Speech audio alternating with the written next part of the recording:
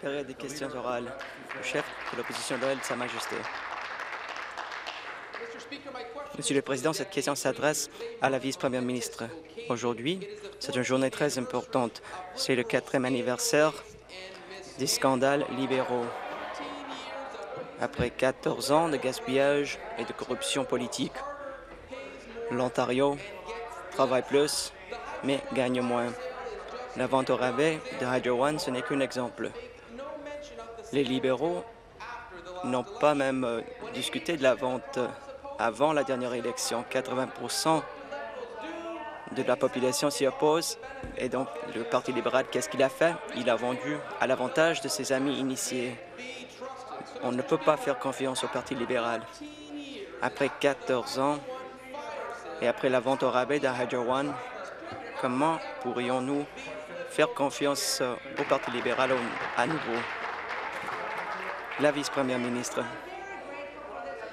Je suis très reconnaissante de cette question parce que nous célébrons 14 ans et parlons des progrès réalisés. Les députés de cette Chambre se rappellent que le salaire minimum avait été gelé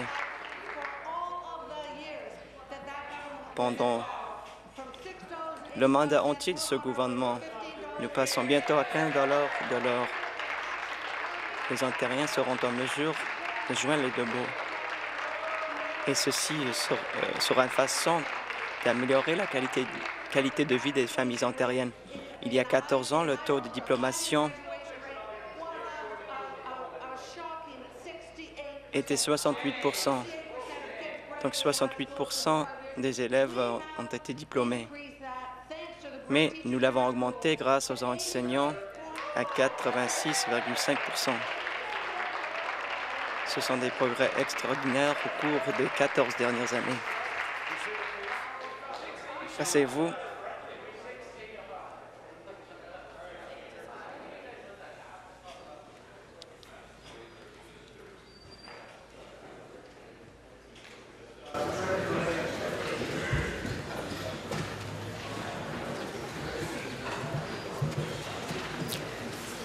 Supplementary. Complémentaire, le député de Leeds Grenville. À la vice-première ministre. Après 14 ans de gaspillage et corruption libérale, l'Ontario travaille plus, mais on gagne moins. Arrêtez la pendule. I, uh, I sense a theme, and I'm going to get to the bottom of it immediately. J'observe une tendance et je vais l'arrêter. Arrêtez de chuter. Cinq enquêtes de la PPO. Si vous voulez, voulez jouer sur ce jeu, ça va. Le ministre de l'Alimentation, vous m'insultez. Cinq enquêtes de la PPO, ce n'est qu'un exemple. Sous le Parti libéral, il y a eu le même montant d'enquêtes que, que juste comme Tom Brady a d'anneaux de Super Bowl. Mais lui, il avait besoin de 15 ans, mais ce parti n'avait besoin, avait besoin de seulement 14 ans. Donc il n'y a aucun comparateur. Donc après 14 ans, il y a eu cinq enquêtes à la PPO. Donc comment pouvons-nous faire confiance à la première ministre? Au Parti libéral? La vice-première ministre. Pensons à la situation il y a 14 ans. La maternelle pendant toute la journée pour des enfants de 3 de 4 ans à l'échelle de, la- de la province. Le député de Lanark à l'ordre. Et une autre députée a été très chanceux. Veuillez continuer. Lorsqu'on pense aux jeunes des familles à faible revenu qui ont accès aux soins bucco-dentaires gratuits, ça n'existait pas par le passé. Maintenant, les jeunes sous l'âge de 25 ans auront à partir du 1er janvier des médicaments gratuits. Et quant à l'éducation postsecondaire, sous leur gouvernement, les jeunes n'étaient pas en mesure d'assister à l'université au ni au collège. Mais à l'heure actuelle, il y a 200 000 jeunes qui ont, qui ont accès à des droits de scolarité gratuits. Et pensant à l'air complémentaire final, le député Nepean Carlton à la vice-première ministre. Après 14 ans de gaspillage et de corruption politique, l'Ontario travaille plus et gagne moins. Le scandale de 1,2 milliard de dollars des centrales au gaz n'est qu'un exemple.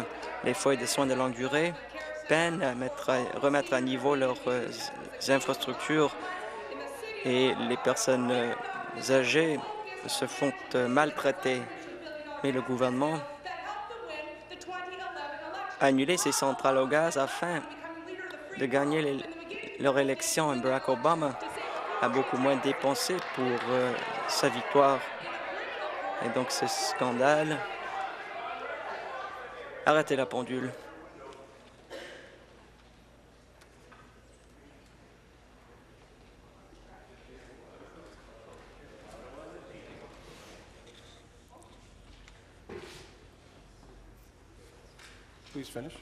Veuillez terminer. Selon le commissaire à l'information, ce parti est contrevenu aux règles et le commissaire à l'information a demandé au personnel de ne pas supprimer des courriels. Donc, après 14 ans et en raison du scandale des centrales de gaz, comment pouvons-nous faire confiance à la première ministre ou au gouvernement? La vice-première ministre. Nous avons traversé la pire récession depuis la Grande Dépression. Nous avons maintenant le taux de chômage le moins élevé depuis 16 ans et nous affichons un budget équilibré. Nous avons très bien géré notre gouvernement sur le plan fiscal. Pensant à l'aide sociale qui, a, été gelées sous ce gouvernement, nous les avons augmentées et nous avons modifié les règles pour que les récipiendaires puissent avoir plus d'argent, soutenir leurs enfants. Nous avons fermé les centrales au charbon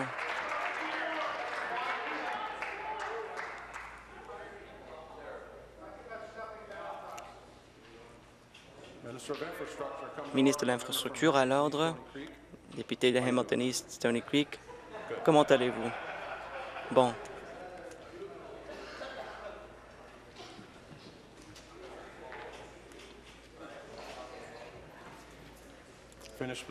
Veuillez terminer.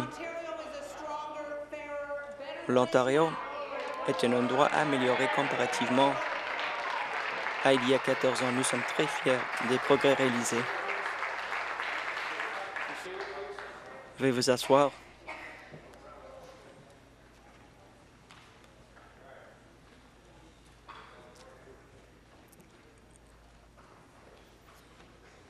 Nouvelle question.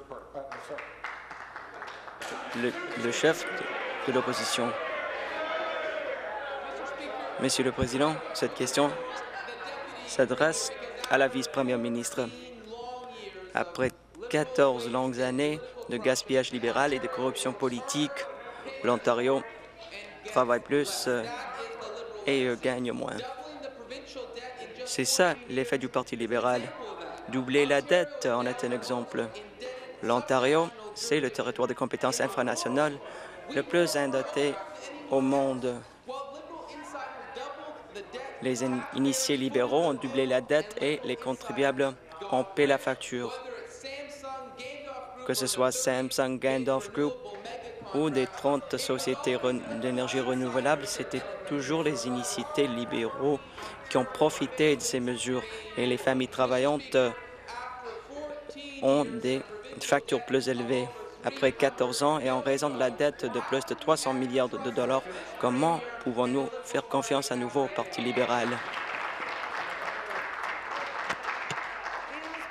Vous savez, Monsieur le Président, je suis reconnaissante envers ces questions car cela nous donne l'occasion euh, de révéler notre position depuis les 14 dernières années. Pensez-y, nous avons créé 760 nouveaux, nouveaux emplois en Ontario. Depuis 2003, si je me souviens bien, eux voulaient mettre à pied 100 000 personnes Notre taux euh, de chômage a diminué de 5,4% en dessous euh, de la moyenne nationale depuis deux ans et demi. Notre croissance économique est solide. Nous sommes les leaders dans les pays du G7 lorsqu'il est question de croissance économique. Notre croissance va aller au-delà du reste du Canada au cours des deux prochaines années. Nous avons fait des investissements dans les infrastructures, dans les écoles, dans les infrastructures routières, les ponts, les écoles. Ces investissements coûtent de l'argent. Nous créons des investissements. C'est très bon pour la société. Merci. Complémentaire, le député de Nipissing. Merci, Monsieur le Président. Ma question euh, s'adresse à la vice-première ministre. Après 14 ans de gaspillage et de corruption politique, l'Ontario travaille plus, paye plus et reçoit moins. Donc, il y a des frais en essor ainsi que des impôts en essor. L'Ontario était l'engin économique de l'Ontario lorsque les libéraux ont pris le pouvoir. Il est triste de voir que nous sommes une province gagne petit. Les libéraux ont ajouté la taxe sur la santé. Les familles payent maintenant 2,4 milliards de dollars par année dans des frais de service. Euh, les, frais de permis ont augmenté de 503 millions de dollars depuis les trois dernières années. Après 14 ans, et à cause euh, d'augmentation dans les frais honteux, comment pouvons-nous faire confiance aux, libéraux, à nouveau? Monsieur le Président, tout ce que je peux dire, c'est que je suis bien heureuse que ce parti ne soit pas ici au pouvoir, car l'investissement que nous avons effectué a entraîné de vrais changements. Le taux de chômage le plus bas en 16 ans. il, faut un, il faut un très fier. Notre ratio de la dette au PIB a diminué. Nous avons un budget équilibré, ce qui nous permet d'investir euh, dans l'investissement euh, de ce qui est important de ce côté-ci de la Chambre. Des frais scolaires gratuits pour les 25 ans et moins, plus de places en garderie, plus d'espace en soins de longue durée. Les personnes les, plus vulnérables vivent mieux, sous notre gouvernement, bien plus que sous le gouvernement des conservateurs. Nous en, avons fait des priorités. Ce sont eux qui ont mis des gels sur les salaires. Ils ont également établi des règles difficiles. Complémentaire, le député de Middlesex, ma question s'adresse à la vice-première ministre. Après 14 ans de gaspillage et de corruption politique, l'Ontario travaille plus, paye plus et reçoit moins. La perte de centaines de milliers d'emplois dans les usines est un exemple. Les usines se sont fait attaquer à répétition par ce gouvernement. Les factures d'électricité augmentent et maintenant il est la question de plafonnement et d'échange. Monsieur le Président, les propriétaires d'entreprises ont sonné l'alarme, mais ce gouvernement continue à insister qu'il connaît mieux. La négation des libéraux n'aide pas les familles alors que leurs emplois se perdent. St. Thomas, Brockville, Procter Gamble General Electric de Peterborough, Bacardi, Westgas, il y en a beaucoup plus sur la liste. Monsieur le Président, à cause des décisions du gouvernement libéral qui continue à éliminer des emplois, comment pouvons-nous faire confiance à cette première ministre et aux libéraux? Eh bien, Monsieur le Président, comment pouvons-nous leur faire confiance lorsque tout ce qu'ils font, euh, c'est de changer les faits? Retirez-le. Je l'ai retiré. Continuez. Alors, examinons les faits. 760 000 emplois de plus. Le député de Lambton-Kent Middlesex, à l'ordre, s'il vous plaît. Veuillez terminer, s'il vous plaît. Monsieur le Président, le député de Lambton-Campbell, une deuxième fois, et je vais aller au-delà de l'avertissement. Monsieur le Président, bien sûr, l'opposition va parler seulement de perte d'emploi. Euh, c'est un problème grave, mais il n'a pas encore parlé des 700 760 nouveaux emplois. Soyons clairs, 760 000 emplois ont été créés, bien plus que ce qu'on a perdu. Lorsqu'une entreprise choisit de fermer, nous sommes là pour aider les employés. Le député de Leeds Grenville et le député de Nipissing Pembroke et Heron Bruce à l'ordre. Veuillez terminer. Il est ironique de voir que lorsqu'il parle de la perte des- de l'usine Ford, eux auraient laissé tomber l'industrie automobile. Eux voulaient laisser tomber l'industrie automobile. Nouvelle question. La chef du troisième parti. Monsieur le Président, avant de commencer, j'aimerais féliciter mon collègue Jagmeet Singh euh, pour euh, avoir remporté le leadership du NPD. Merci.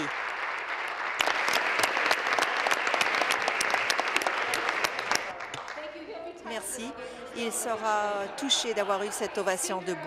Monsieur le Président, ma question s'adresse à la vice-première ministre. Il, existe une crise dans les hôpitaux de l'Ontario. C'est la nouvelle norme d'entendre des histoires d'horreur, c'est-à-dire que des gens attendent des journées, des journées dans les couloirs euh, et d'être traités sans dignité et sans euh,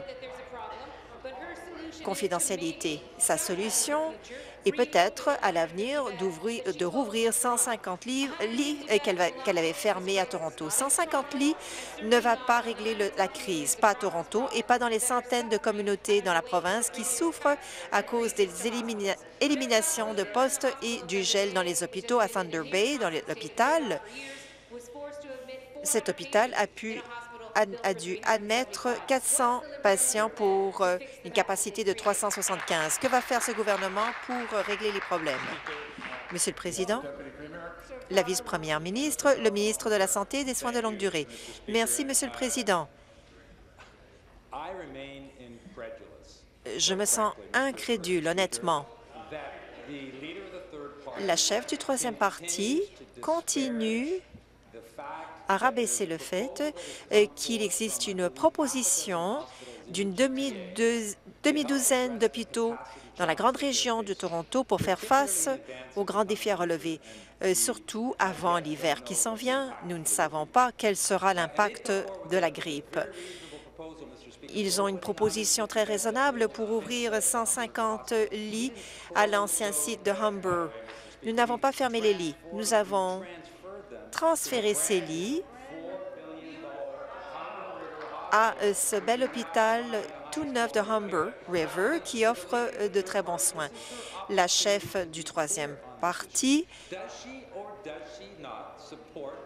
ne soutient-elle pas la proposition du système hospitalier appuyé en passant euh, par l'Association des hôpitaux de l'Ontario?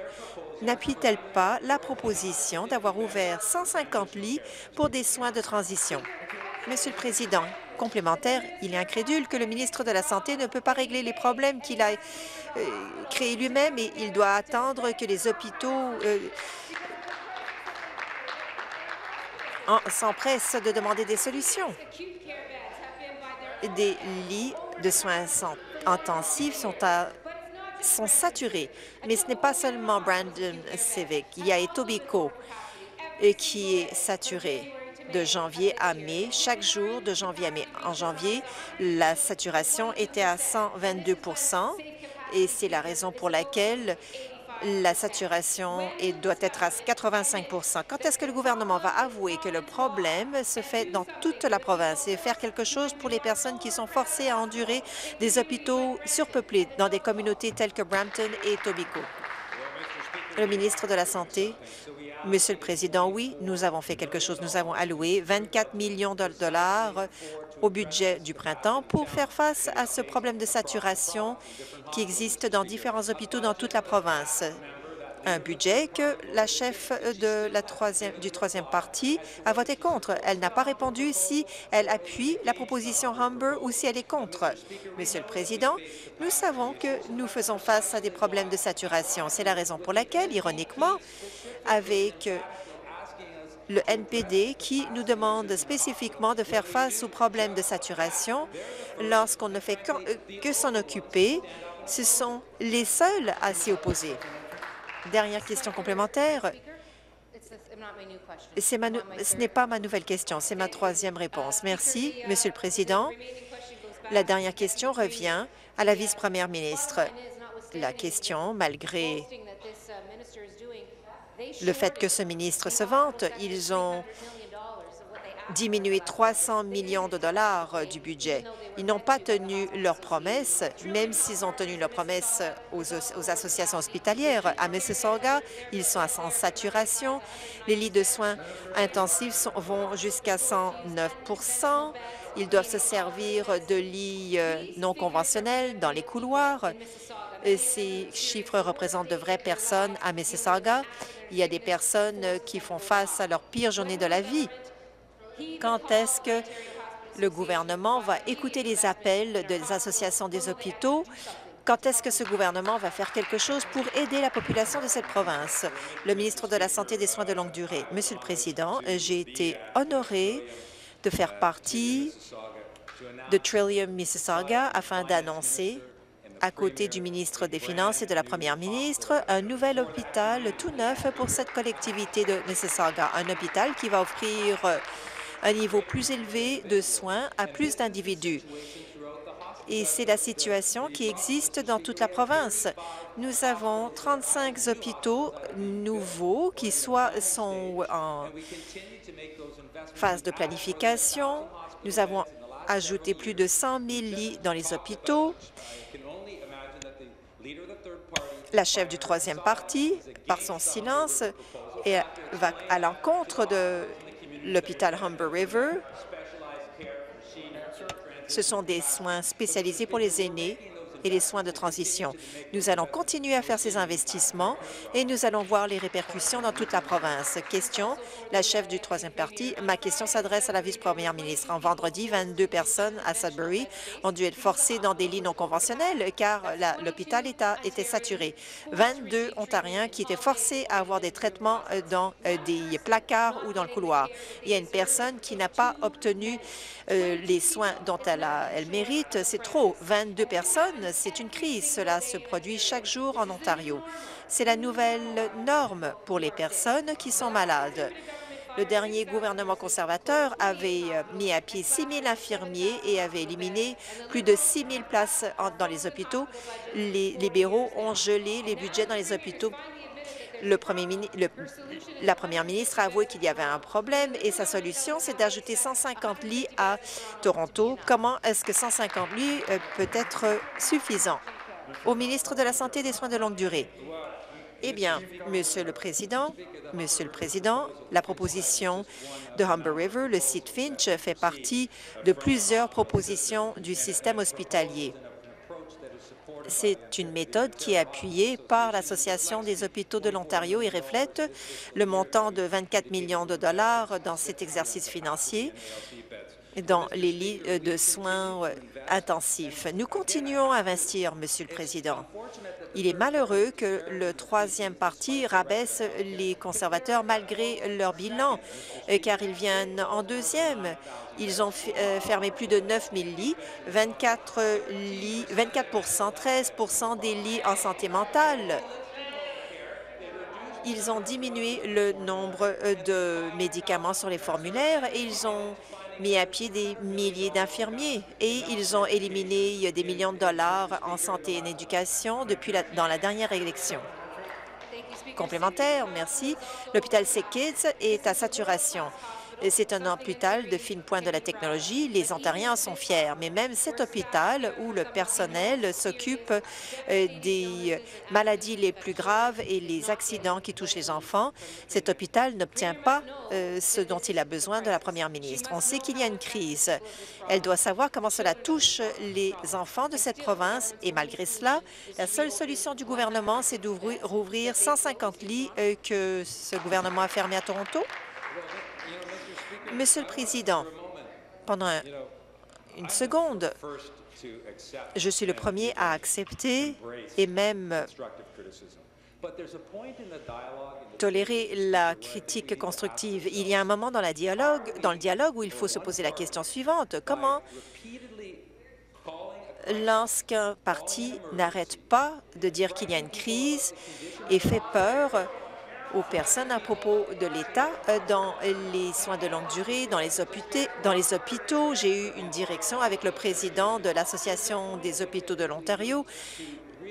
Il faut se rendre compte euh, que ce que nous disons a des répercussions. Je suis le premier à accepter euh, des critiques lorsque c'est mérité, mais il faut le faire de façon mesurée afin d'améliorer le système et de ne pas provoquer la peur chez les Ontariens. Dernière question complémentaire. Veuillez vous asseoir. Veuillez vous asseoir, s'il vous plaît.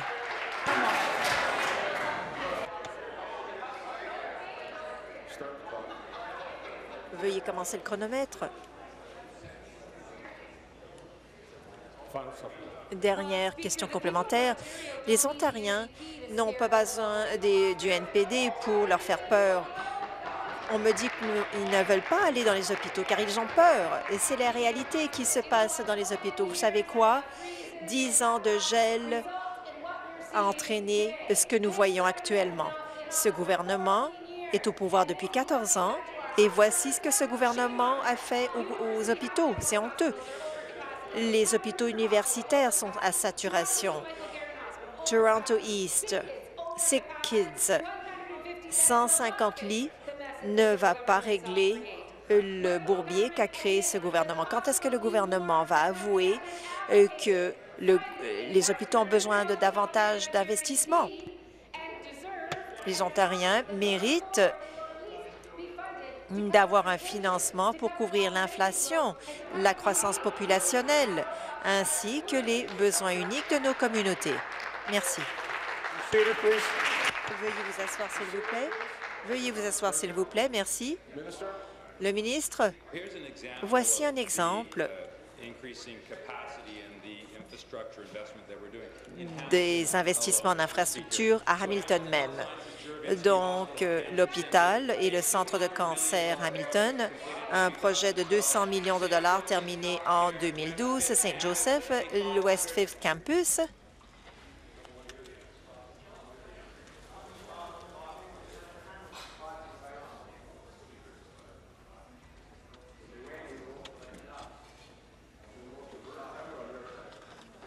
Member from Beaches East Le député de Beaches East York. Veuillez terminer, s'il vous plaît, Monsieur le Président. Ron Joyce euh, a un projet de 7 millions de dollars euh, qui va aider des visites par chaque année. L'hôpital général de Hamilton, 40 millions de dollars pour consolider des services dans un nouvel établissement, 581 millions à Hamilton Mountain. Ce, ne sont que quelques exemples à Hamilton même des investissements que nous avons effectués et que nous allons continuer à faire, Monsieur le Président. Merci. Le député de Elgin Middlesex London, ma question est à la vice-première ministre, car après 14 ans de gaspillage et de corruption, les Ontariens travaillent plus, payent plus et reçoivent moins. Les éliminations aux hôpitaux de l'Ontario n'est qu'un exemple. Ce gouvernement est responsable pour les hôpitaux publics il y a eu quatre ans de gel. Ce gouvernement continue à éliminer le financement, ce qui amène les hôpitaux dans une crise. La vérificatrice générale a averti euh, que les lits d'hôpitaux euh, sont euh, saturés par des patients qui attendent des soins de longue durée. Ce gouvernement n'a pas agi, ce qui a entraîné une saturation dangereuse. Les patients continuent à attendre dans les brancards, dans les couloirs avec euh, la grippe qui s'en vient. Les hôpitaux de l'Ontario sont en crise. Après 14 ans euh, d'élimination et de budget gelé, comment pouvons-nous faire confiance à cette première ministre et aux libéraux? La question à la vice-première ministre, au ministre de la Santé et des Soins de longue durée. Eh bien, Monsieur le Président, nous avons investi et ont augmenté l'investissement dans les soins de santé chaque année depuis que nous sommes au pouvoir, ce qui comprend le budget le plus récent où nous avons augmenté le budget de fonctionnement de 500 millions de dollars en plus de l'année précédente qui était d'un nouvel investissement de 500 millions de dollars. Monsieur le Président, nous investissons dans de nouveaux hôpitaux, dans les, les hôpitaux de fonctionnement, y compris St. Thomas dans toute la province. Il est regrettable qu'un parti qui a fermé 27 hôpitaux, 27 ou 28, c'était 28 hôpitaux, qui a fermé près de 10 000 lits dans les hôpitaux et qui a éliminé tous les services dans le système. C'est un parti qui demande maintenant euh, euh, qu'on règle leur gâchis. Nous avons réglé ce gâchis. Nous continuons à investir pour avoir un meilleur système. Complémentaire. West euh, Granbrook. Monsieur le Président, ma question s'adresse à la vice-première ministre. Après 14 euh, ans de corruption, de gaspillage, les Ontariens travaillent davantage, paient moins et obtiennent moins. Je n'étais pas préoccupé certaines terminologies. Je demande à l'opposition que la terminologie n'est pas acceptable en Chambre. Et je vous demande de ne plus utiliser cette terminologie. Veuillez poursuivre, Monsieur le Président. Cybersanté, intervention du Président. York S, seconde fois. Veuillez poursuivre. Cybersanté est un autre exemple de scandale de gaspillage. Le gouvernement n'a pas tenu ses promesses en cybersanté. Chronianisme, consultants trop payés et dépenses, poursuites et règlements. Les libéraux, lorsque les libéraux sont très habiles pour gaspiller la santé en cybersanté, la VG, dans son rapport avec la banque dernier, novembre dernier, et avec euh, plus euh, de 8 milliards dépensés, le système ne fonctionne toujours pas après 14 euh, ans. Et le scandale cybersanté, comment est-ce qu'on peut faire confiance aux libéraux? Intervention du président. Ministre de la Santé et des Soins de longue durée, je suis très fier du fait que 80% des médecins utilisent le dossier électronique depuis leur bureau. En fait, chaque Ontarien qui a un lien avec le réseau de la santé a un dossier médical électronique. Et cela donne davantage d'informations, davantage de décisions aux prestataires de soins de service et une plus grande habilité de la part des patients. Nous sommes venus de loin. Nous avons de la télémédecine plus de 750 000 consultations par euh, télémédecine avec les prestataires de soins de santé. Le système d'analyse, ou 92 des analyses, est disponible dans un dépositaire et il y a plus de 100 000 utilisateurs, de cette donnée. Euh, Nous avons un répertoire de médicaments qui suit les médicaments qui sont euh, prescrits par les prestataires de soins. C'est une cible qui s'éloigne et nous sommes très fiers du travail qu'on a fait jusqu'à maintenant. Hamilton, euh, Stony Creek, vice-premier ministre, il y a deux mois, Sears, a reçu la capacité de liquider et 52 points de vente ont été fermés. Plus de 1200 employés ont été affectés. La saga continue. On a appris que Sears Canada veut éliminer son plan de retraite. Et Sears a annoncé samedi qu'ils vont fermer 10 autres points de vente, y compris un point de vente à Hamilton. Les néo-démocrates demandent à la première ministre de protéger les retraités en Ontario pour ne pas perdre le régime de pension. Le manque de protection des régimes de retraite, les gens de Sears ont besoin de savoir est-ce que la première ministre va-t-elle exercer de la pression sur le fédéral d'apporter modification à la loi sur les faillites pour que les honnêtes travailleurs de Sears euh, aient la priorité et qu'ils reçoivent la pension auquel ils ont cotisé. Ministre de l'Énergie. Ministre de l'Énergie. Merci, Monsieur le Président. Sears est toujours soumis à la loi sur les retraites.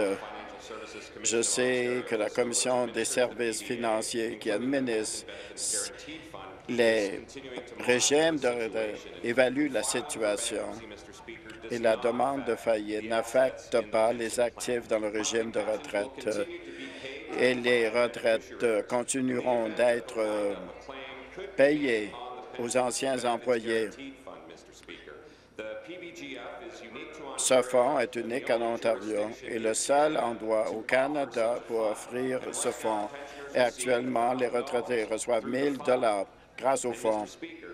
Monsieur le Président, nous allons mettre en place des modifications pour augmenter le paiement pour le faire passer de 1 000 à 1 500 On est, nous allons aller de l'avant avec la modification apportée au régime de retraite à cotisation déterminée.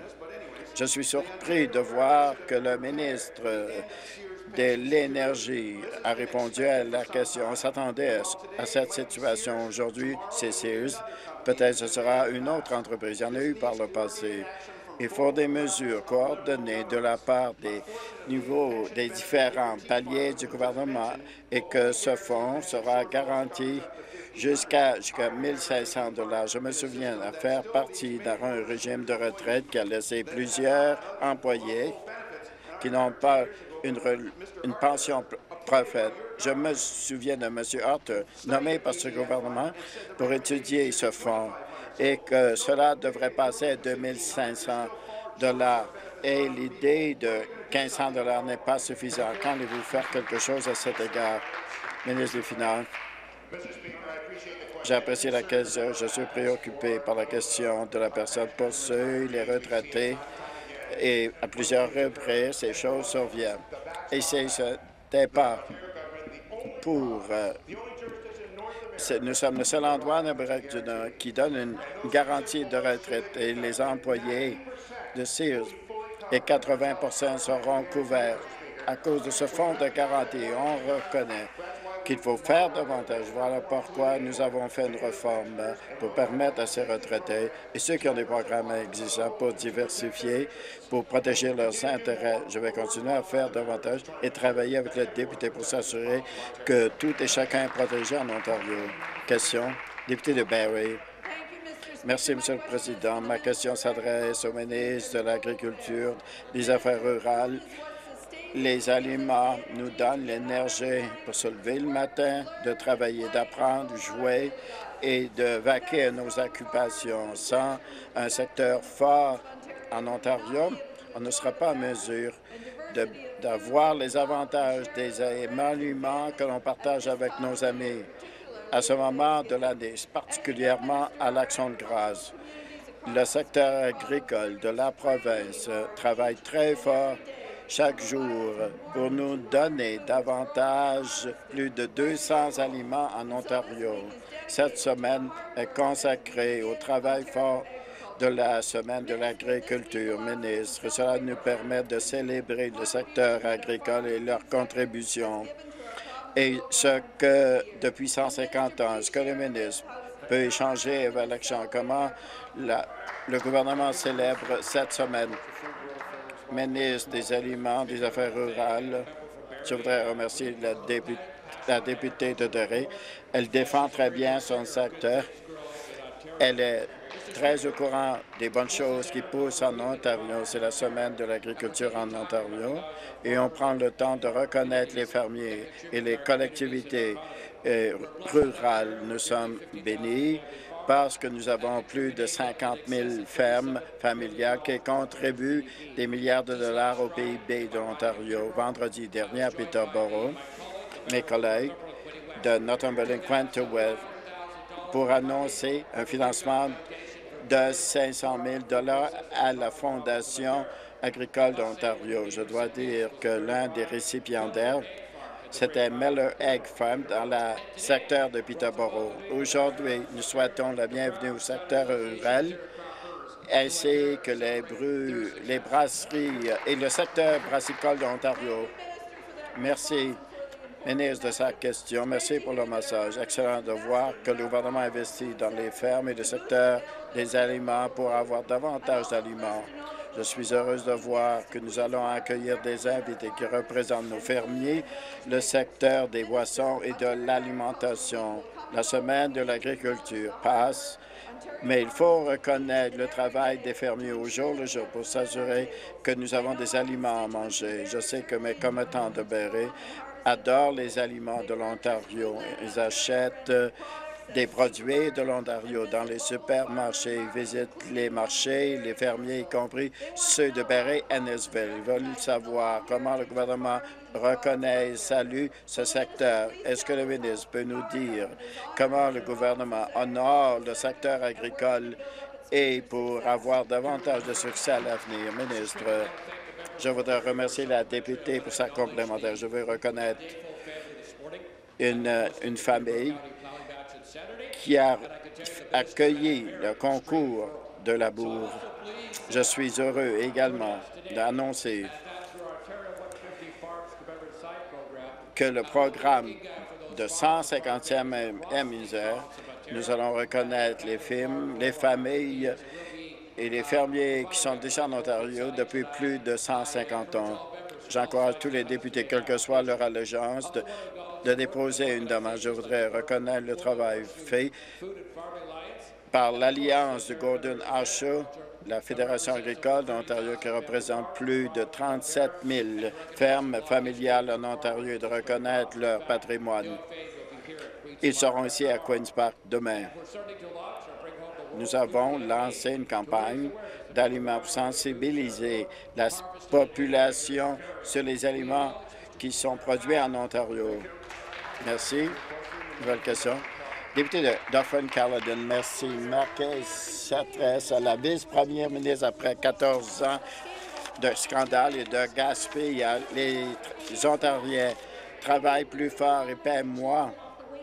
Et le fait de retirer 3 500 jeunes de 5 ans qui souffrent euh, d'autisme de la liste, c'est inacceptable. The member from Kitchener-Conestoga, come to order. Député de Kitchener-Conestoga, à l'ordre. Chief Government Whip is warned. Whip du gouvernement est averti.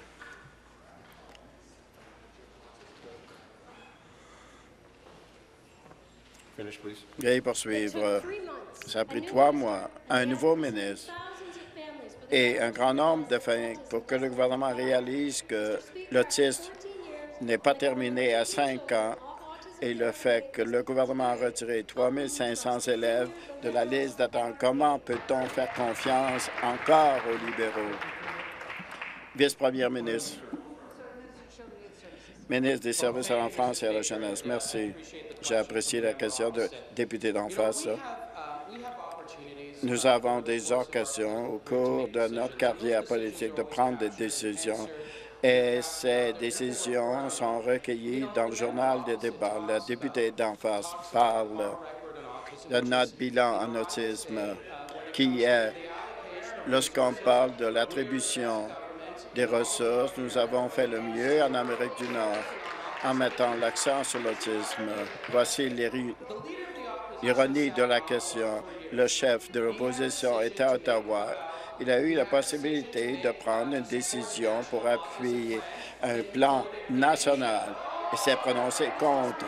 Monsieur le Président, lorsqu'on parle d'autisme, ce que l'on fait pour les enfants et qu'on compare nos bilans, ne, ne, ne vous trompez pas. Complémentaire, Whitby Oshawa. Ma question s'adresse à la vice-première ministre. Après 14 ans de gaspillage, de scandale, les Ontariens travaillent plus fort, paient davantage et obtiennent moins. Le gouvernement libéral est arbitraire et sans émotion et a fermé des écoles. Il y a des mois, il y avait 600 écoles à fermer. Le regroupement des écoles a dit que dans cinq ans, du programme d'examen des écoles, 277 écoles ont été fermées. Monsieur le Président, après 14 ans de fermeture d'écoles, comment est-ce que les Ontariens puissent faire confiance encore aux libéraux? et des services à l'enfance et à la jeunesse. Ministre de l'Éducation, je suis heureux de prendre la parole dans cette Chambre, de parler du bilan du gouvernement sur l'éducation en Ontario. Pourquoi? Parce que le député d'en face pose la question, mais il ignore les 11 écoles qui ont été construites et ont été agrandies dans sa propre circonscription. Nous allons continuer à investir dans le système public d'Ontario et vous voyez les résultats de la maternelle au taux, diplomation, intervention du président, rappel à l'ordre.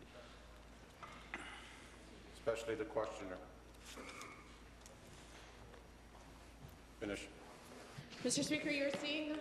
Vous voyez le résultat d'un matériel à temps plein au taux de diplomation à la hauteur de 86 des élèves obtiennent leur diplôme, comparativement à 68 lorsque ce parti était au pouvoir. Nous allons continuer à investir dans le réseau de l'éducation publique parce que c'est la bonne chose à faire pour les Ontariens.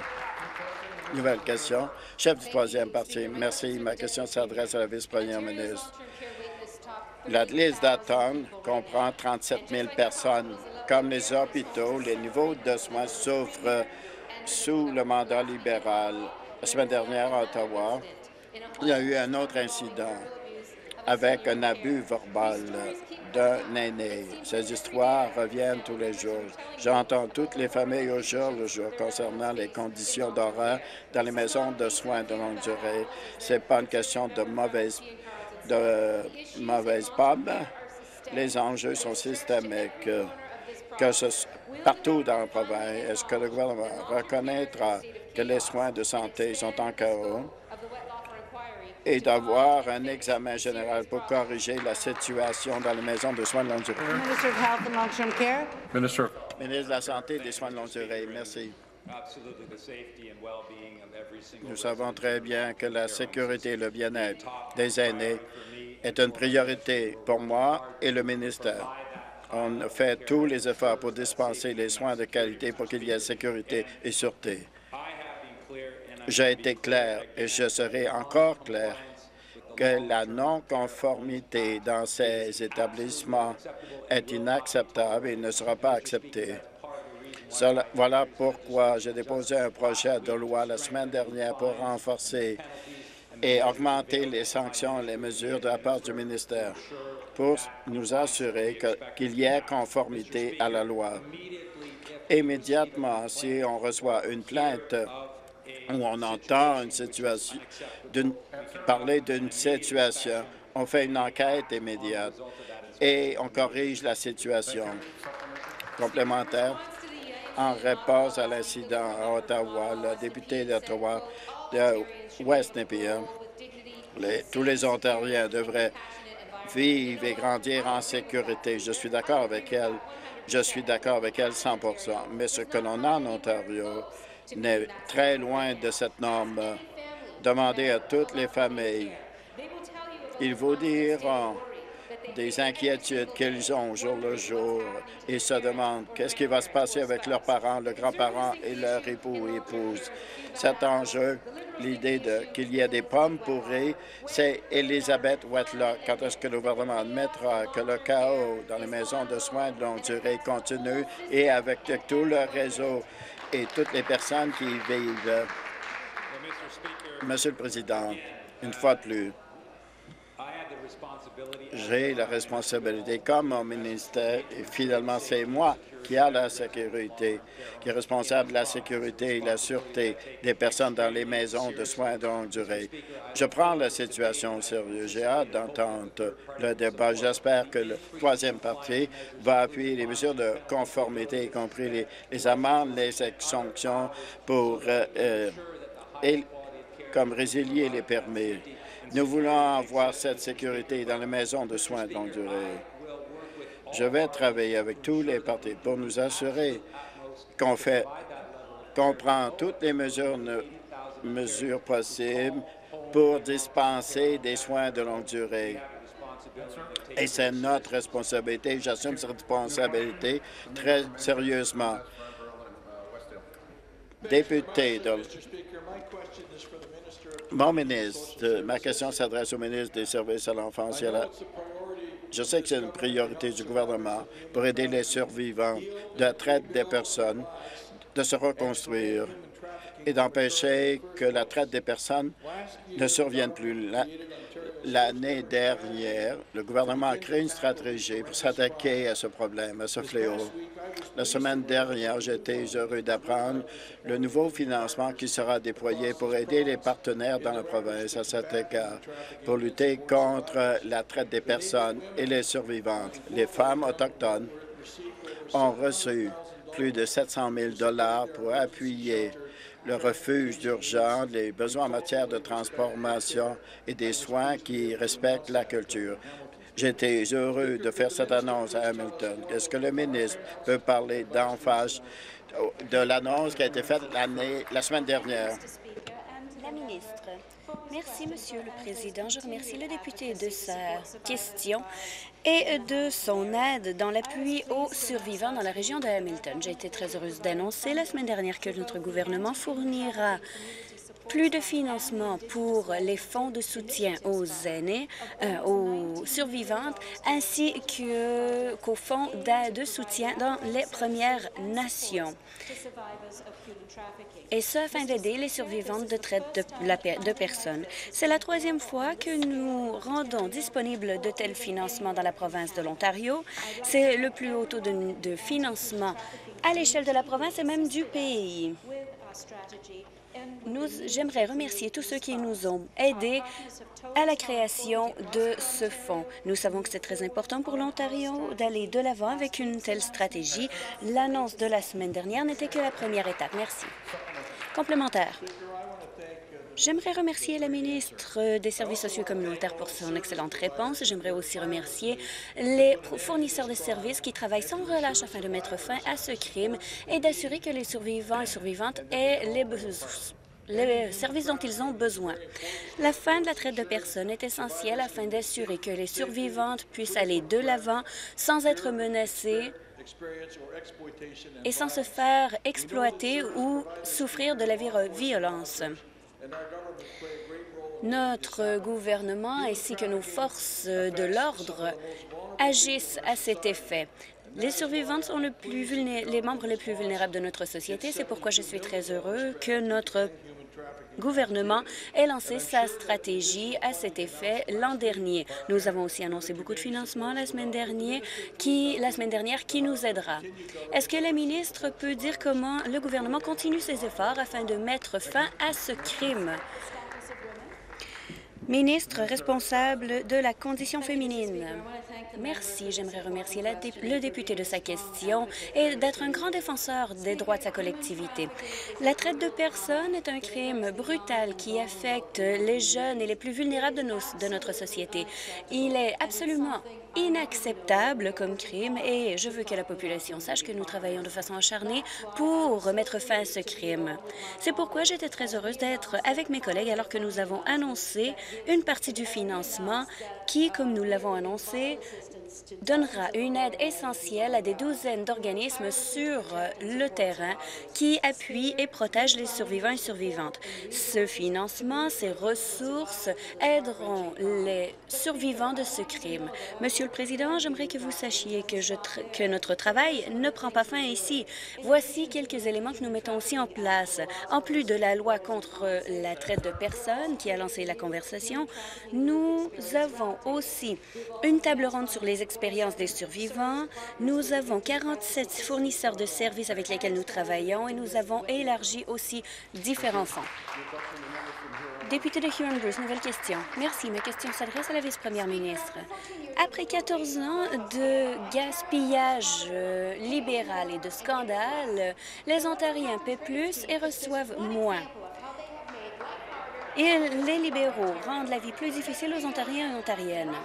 La première ministre a écrit une loi qui permet aux libéraux de continuer de donner des millions de, notre, de nos dollars de contribuables à leurs amis. On envoie de notre argent en Californie pour des crédits de carbone. Monsieur le Président, ça me coupe le souffle. On nous a dit d'en revenir. Euh, Eh bien, Monsieur le Président, après 14 ans de scandales, de dépenses et de mauvaises euh, politiques comme le plafonnement et échange qui est désastreux, comment est-ce qu'on peut faire confiance aux libéraux? La vice-première ministre. Au ministre de l'Environnement et de l'Action en matière de changement climatique. Merci. Je remercie la députée pour sa question. Voici ce qui me coupe le souffle, moi. C'est le progrès incroyable que ce gouvernement a fait au cours des 14 dernières années afin de s'assurer que nos enfants aient de l'air pur à respirer. Depuis que ce gouvernement a fermé les centrales au charbon, il n'y a pas eu une seule journée de smog dans la province de l'Ontario. Et il n'y a plus de brouillard orangé dans la région du Grand Toronto et d'Hamilton. C'est du vrai progrès, Monsieur le Président. Et je peux vous dire que la base de notre travail dans cette province est de s'assurer de la diminution des gaz à effet de serre pour qu'elle soit juste et équitable pour toutes les entreprises à l'échelle de la province. J'attends encore de connaître le plan de l'autre côté de l'allée, Monsieur le Président. Complémentaire. Député de Paruson-Muskoka. Merci, Monsieur le Président. À la vice-première ministre, après 14 ans de gaspillage et de scandales libéraux, les Ontariens et Ontariennes travaillent plus fort, paient, plus et reçoivent moins. Le manque de développement du cercle de feu n'en est qu'un exemple. Ce gouvernement a promis de développer ce cercle de feu en 2010. Dans le discours du trône, ils ont dit que c'était la possibilité, l'occasion de mine la plus importante au Canada. C'est en 2014. Ils ont promis un milliard, de, dollars afin de construire de l'infrastructure en transport entourant un cercle de feu. Et depuis cette époque, la première ministre a fait beaucoup de promesses, a utilisé beaucoup d'excuses, mais on ne voit toujours pas de pelle sur le terrain. Les Ontariens et Ontariennes manquent de patience envers ce gouvernement et après 14 ans de gaspillage et de scandales et de provinces qui n'ont pas été tenues sur le développement du cercle de feu, comment est-ce que les Ontariens du Nord peuvent faire confiance aux libéraux? Au ministre de la Relation avec les Autochtones et de la Réconciliation. Merci pour la question. Évidemment, le cercle de feu représente une possibilité historique de vraiment intervention du président. Député de Lanark, je vous avertis pour la deuxième fois. Veuillez terminer. En raison de cette possibilité historique d'avoir un effet sur l'économie de cette province, notre gouvernement a engagé un milliard de dollars afin de développer l'infrastructure de cette province et nous allons construire sur cette infrastructure dans la région. Récemment, nous avons investi 785 000 dollars, millions de dollars avec le gouvernement fédéral dans les Premières Nations épidémiques afin d'établir une étude de couloir. C'est la première étape afin de libérer notre engagement envers le cercle de feu, un engagement pour lequel nous avons besoin de l'aide du parti de l'opposition afin d'aller de l'avant. Intervention du président. Nouvelle question, la chef du troisième parti. À la vice-première ministre, il y a quelques semaines, j'ai rencontré Denise Coran et son frère, Daniel Real, il a utilisé des lacets qu'il ne devait pas avoir pour s'enlever la vie à Hamilton. Dan était la onzième personne à se suicider après avoir été admis à West Fifth Side. Sa fille, Nicole, n'a que 20 ans, est décédée de suicide aussi. Les familles qui, dont leurs êtres chers souffrent de troubles mentaux devraient être euh, en mesure d'être certains que ces personnes puissent obtenir les soins nécessaires. Lorsque des tragédies se produisent encore et encore, les familles méritent euh, d'avoir des réponses. C'est pourquoi j'ai demandé d'avoir une enquête dans cette tragédie. Est-ce que le gouvernement va appuyer ma demande? Au ministre de la Santé et des Soins de longue durée? Merci, Monsieur le Président. J'apprécie la question. Aucune famille ne devrait avoir à endurer la douleur d'un membre de leur famille, de voir un membre de leur famille, un être cher, qui se suicide. De la part de tous les députés de cette Assemblée ainsi que de la chef du troisième parti, j'aimerais exprimer mes condoléances offrir mes condoléances pour toutes les personnes qui, au cours des 18 derniers mois, on vu un être cher ou un membre de la famille perdre leur- la vie de cette façon. En ce qui a trait à l'enquête du coroner, il est important de savoir que le coroner et le coroner lui seul a le droit de décider de lancer une enquête. C'est entièrement à sa discrétion. C'est important que le bureau du coroner soit indépendant du ministère et du gouvernement et c'est pourquoi nous laissons la situation entre les mains du coroner.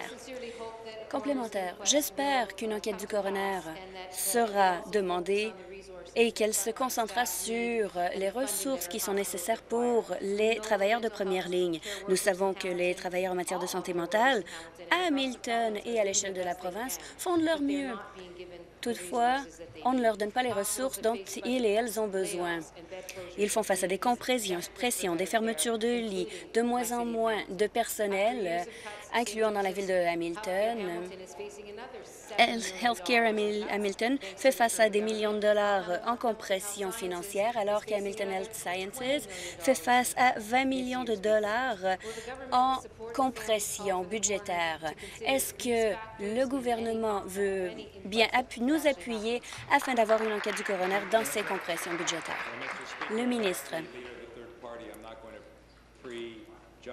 Au contraire de la chef du troisième parti, je ne vais pas assumer les résultats de toute enquête du coroner en ce qui a trait à ces 11 suicides.